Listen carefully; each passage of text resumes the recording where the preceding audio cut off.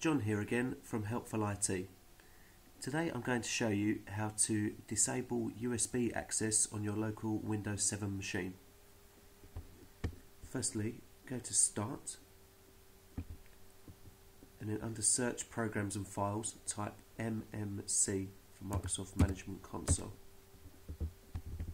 Select the option. Once open, you'll see you've got no uh, information available right now, so we'll have to change that. If you go to File, Add Remove Snap-in, and then choose Group Policy Object.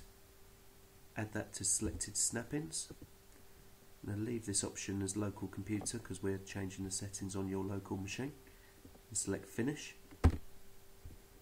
Then OK. Now you'll see you have local computer policy you scroll into that option and drill down into computer configuration, admin templates, system, and under removable storage access. Here you'll see you have five options starting from deny execute access all the way down to allow direct access.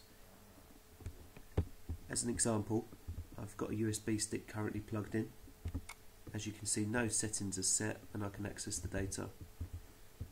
If we change deny all access to enabled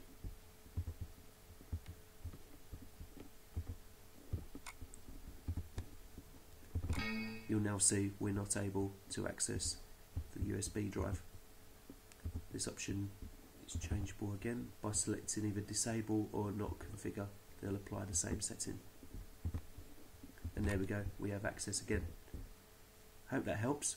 If you have any more queries or questions, please follow our Twitter feed or email us at info at helpful-it.co.uk. Thank you. Bye bye.